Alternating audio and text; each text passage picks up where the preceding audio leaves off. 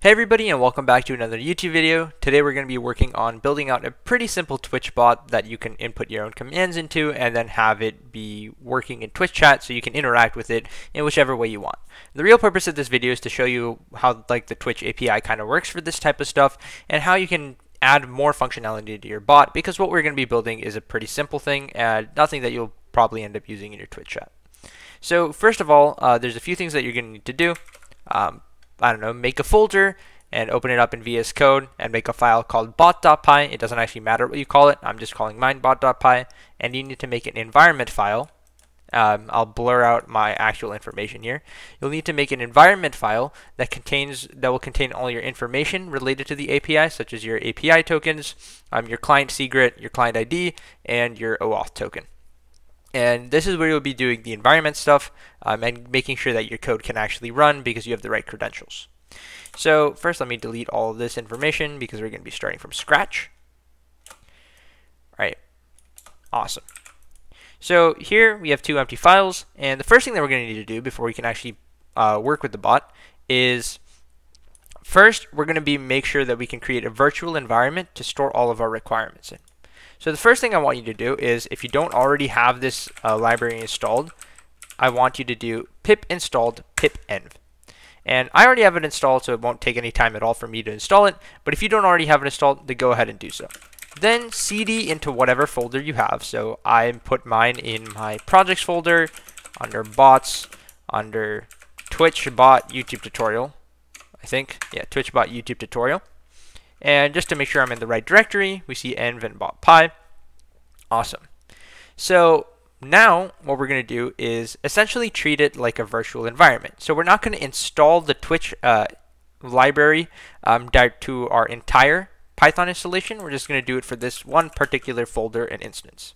So what you have to do is do pipenv install Twitch. Uh, actually, I forgot what the library is called, so let me look at it right here pip install twitch io. Pip, pipenv install twitch io. Normally, you would do um, pip install twitch io and then maybe create a virtual environment, but in this case, we're just doing it all in one go by doing pipenv install twitch.io. And you'll see that after this is done, it'll create two files. It'll create this pip file, and then it'll create pipfile.lock. And now this is really useful when you go to deploy your bot. And we won't be covering that in today's tutorial, but it is something that you can do pretty easily when you have this. All right, so pip file um, and pipfile.lock. So basically, this just makes it really easy for you to um, publish your code. Um, but that's besides the point. You're here to figure out how you can actually make a Twitch bot, so let's do that. So you're going to need to go to dev.twitch.tv um, and you can either make a new Twitch account for your bot or just use your current Twitch account. It doesn't really matter. For this purpose, I made my own. Uh, I made a new Twitch account for the sole purpose of working with this bot and making this bot. Um, here you can see like my first attempt at it, but I'm going to walk you guys through it by register by doing it completely from scratch. So you're going to click register your application. Um, then you just pick a name. So I don't know, our name is going to be test bot for YouTube, right? Then OAuth redirect URLs, it doesn't matter. You can just use HTTP slash localhost if you're not deploying it um, yet. So we can just do that here. Category, it's a chat bot. Let's do a CAPTCHA and create. And now you see we have our bot here. What you're also going to have to go do is go to, uh, what is it?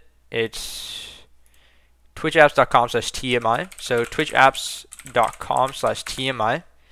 Um, and here is where you would generate um, this is where you would generate your OAuth password. Now, obviously, I'm going to have this blurred out because I don't want you guys having my developer tokens, but um, this is where you would get your OAuth password, and I'll show you where to put that shortly. And inside of your test bot for YouTube, you'll see your client ID, and when you click New Secret, it'll make a new secret, and make sure to keep it confidential. So first, let's copy paste this OAuth password, uh, then move it into here. And he, here where you see TMI token, that's where you're going to paste in what you just got from your OAuth token. So paste in the entire thing. Then um, take your client ID from your console. Awesome. Um, then just come up and then just pick the nickname of your bot. It's going to be uh, the nickname of your bot is going to be what you've uh, named your actual Twitch account. So in this case, um, our Twitch account is named Test Twitch Bot Fun, right? And then you choose a prefix for your bot. So you can make your prefix, um, you know, this is the this is the thing that people will put when they're entering commands for your bot. So you know how streamers will have things like, um, streamers will have things like exclamation mark YouTube to show a link to their latest YouTube video. Well, in this case, we're going to do um, exclamation mark as our bot prefix because it's just the most common one, right? Having exclamation mark as the prefix. Then you're going to input your channel name. Um, this is the channel for your Twitch account. So this is basically, once again, just your username. So now that you've entered your channel name, you are good and your environment variables are completely set up. And we're ready to get started with working on the bot. Now that's pretty cool. So let's just get straight into it. First, we're going to import OS. Um, and this will let us get our uh, client information or API information from the environment file. Then we're actually going to import um, the stuff that'll help us work with the Twitch API. So twitch.io.xtech uh, import commands. Uh, that's not how you actually write code in Python. Okay, so now that we've done our imports, we can actually get ready to build out our bot. So the first thing we're going to do is create a bot object. So just gonna we're just gonna call it bot, and then from the commands uh, we can do commands.bot and initialize our bot using our uh, information in our environment variables. So pretty quickly, um, I'm just going to copy and paste it because I don't want to type out every single line. Um, IRC token, um, that's what's going to be your TMI token right here. Then your client ID, your bot's nickname, the bot prefix, and the initial channel. So what channel are you initializing it on? Um, if you want to make it so that anybody can add it to their own channel, you'll have to do a little bit more work for that. Um, but in this case, uh, we're just going to be making it so that it'll be working on your own channel, right? So now we've initialized our bot. Um, and now that we've initialized it, we can quickly check to see if our code is working um, by typing in pipenv, right? pipenv run python bot.py. Now, if it is working correctly, we should get, we should just see a blank screen, right? We should just see loading.env environment variables and then nothing else after that. But if it wasn't if it wasn't working correctly, what you would see would be some sort of an error that pops up. If you guys have errors, leave them in the comments down below or join my Discord server, link in the description, and I'll try to help you walk you through it. So um, let's make sure that we can actually see if our bot is going to end up uh, in our Twitch chat. How do we actually show that's in our Twitch chat? Because right now it is, um, or it should be. So what we really need to do right now is we're going to go to, uh, and we're going to make it so that when we run the file, uh, it clearly states that our bot has joined our Twitch chat. So first, let's open it up and show our chat, right? And here we have some, uh, you know, we have some previous uh, what what's the best way to put it? We have a previous attempt of mine at making the Twitch bot, and you see that you know whenever it joins, it says has landed. That's what we're going to be trying to do right now. So first of all, um, let's just keep this Twitch chat open because when it we run the code, we should see a message from test Twitch bot fun. So let's get straight into it, huh? Right. So first, we're going to do at bot.event. Now what this does is it signifies that, okay, um, the next code block that's coming is going to be waiting for a bot event. Um, and once the event happens, uh, is going to run some block of code. So to do async def event ready. So this just means uh, upon uh, the bot becoming ready, so when the bot goes online, um, something is going to happen. So in our case, we're going to do print f right? Um, and this is just to let ourselves know exactly what's happening. So this won't actually go in the Twitch chat. This is going to happen on our local environment. So we're going to say, um, you know, whatever the bot's name is, uh, os.environ bot nick, right, um, is online. Awesome. But obviously, this doesn't really matter for us. What we need to do is make sure that we're going to be able to use this bot to send messages in the Twitch chat. So we're going to do ws equals bot underscore ws. And what this is used for is to send messages um, within event ready. So uh, if you want to know exactly what this underscore ws thing is, um, then I would suggest you go check out the actual documentation for the library. So now we're going to add the await to our async await part and do ws dot send privem, right? And what this does is it just sends a message to the channel. Um, I don't know what I just did. I think I accidentally tried to run it. So os.environ, we're going to be sending it to this particular channel um, and do f slash me has landed, right? Uh, and slash me uh, is just a Twitch uh, is just a Twitch command, and let's see if this actually works. So this should say so many tabs open. We're gonna, this should end up saying uh, test Twitch bot found has landed, right? So if we go here, I run, and it doesn't. And you might be wondering, well, why is that?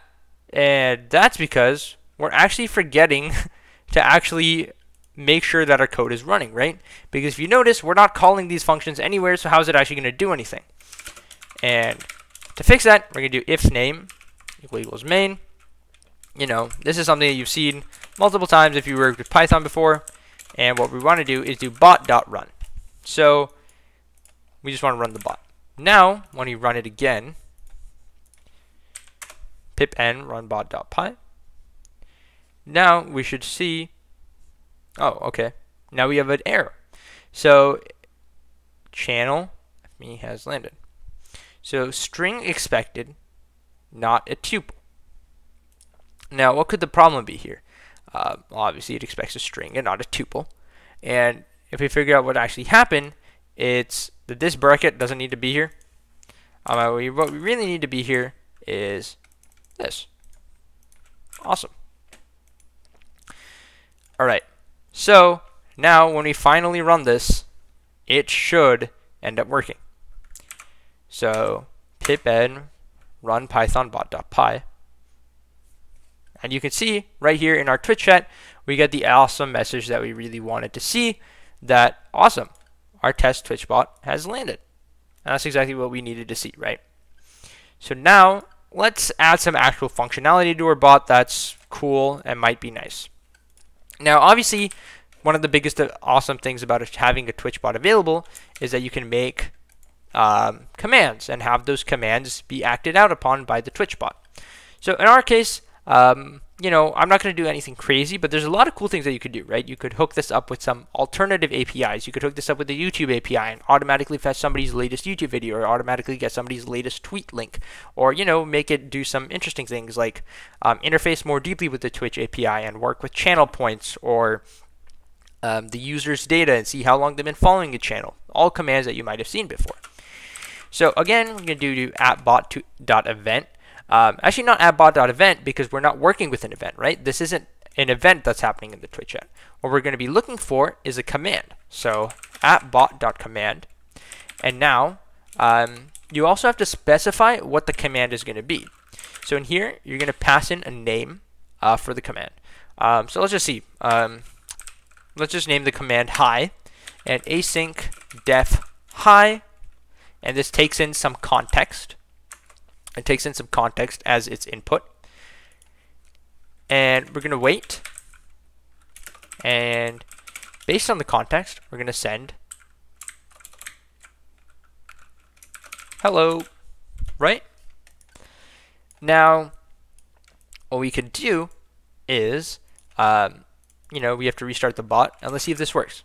So the way this command will work, should work, is by typing exclamation mark hi in Twitch chat, you should see the bot say hello. All right. So we got this code running right now. We don't want it to be running. We want to restart it.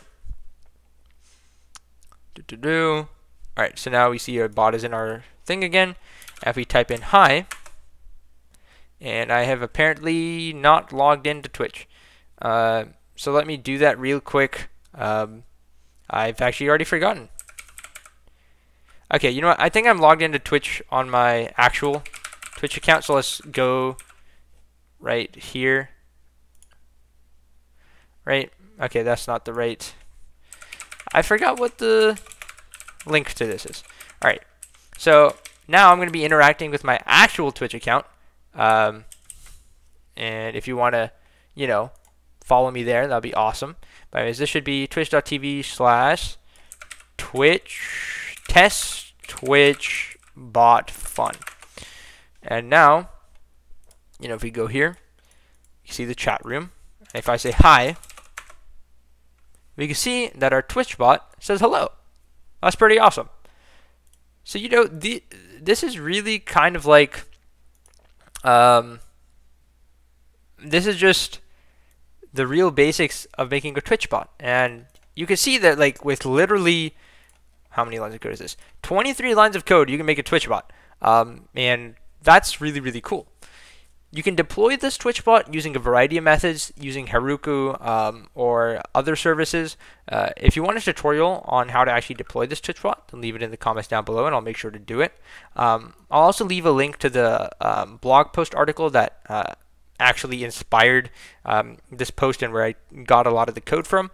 So if you have any more questions about how to do this or some other things that you might want to see the Twitch bot do or more advanced features that you might want to see, leave them in the comments down below. And I'll be sure to revisit this soon to build out a more advanced Twitch bot because this really was just an introduction. I hope you guys enjoyed the video. If you did, join my Discord server, link in the description down below. Hit that like button, subscribe, and I'll see you in the next one. Have a good day.